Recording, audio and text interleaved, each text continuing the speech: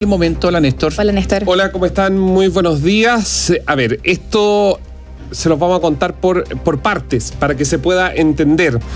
Estábamos a la espera de que el Contralor General de la República, Jorge Bermúdez, le diera el visto bueno o planteara algún tipo de observación a un documento que había ingresado a las 20.35 eh, horas del día martes a la Contraloría General de la República, al Ministerio del Interior. Y esto se titulaba y esto se titulaba el documento delimita áreas de zonas fronterizas a resguardar por parte de las Fuerzas Armadas y de Orden y Seguridad Pública, designa oficial general que señale eh, e instruya lo que se indica, incluyendo el uso la regla de uso de la fuerza para los militares en la frontera. ¿Se recuerda? Hemos estado hablando de ello.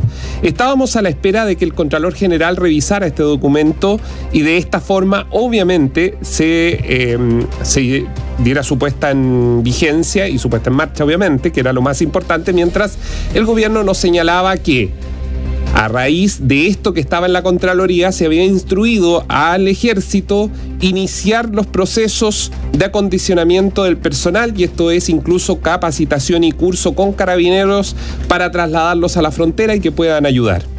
El asunto es que el gobierno, particularmente la cartera que dirige Carolina Toá, el Ministerio del Interior, ingresó anoche, a las 10 de la noche, un correo electrónico remitido por quién? Remitido por el área jurídica del Ministerio del Interior.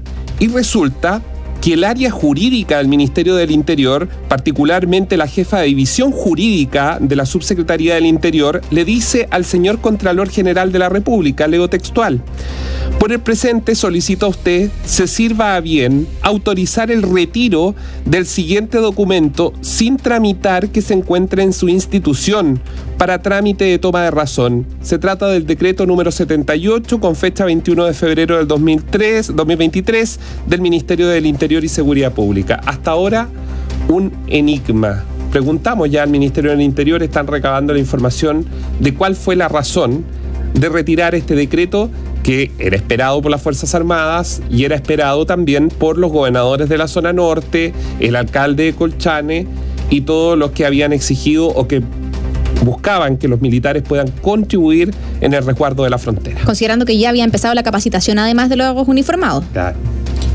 ¿Qué pasó para que retiraran esto? Es la, es la pregunta clave. Podrían haber dos escenarios y esto ya es simplemente una...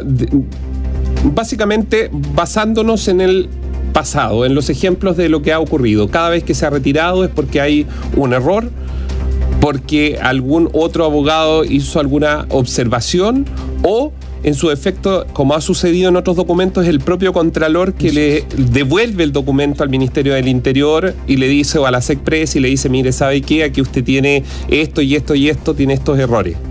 Arréglelo para... Arréglelo para que yo se lo pueda eh, generar la toma de razón, porque tiene, no tiene que ver con el mérito, eh, sino, sino que tiene que ver con la forma. Errores formales. Errores formales, porque el Contralor no mide el mérito de la decisión presidencial, sino la forma, eh, obviamente los pasos que se establecen para llegar a ello. Ahora, en este caso, y por eso es importante ese correo, que ya lo tenemos, es le piden retirarlo. Tenga bien a usted entregarme el documento.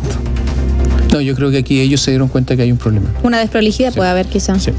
Bueno, va a ser tema del día. Gracias, Néstor. Gracias, Néstor.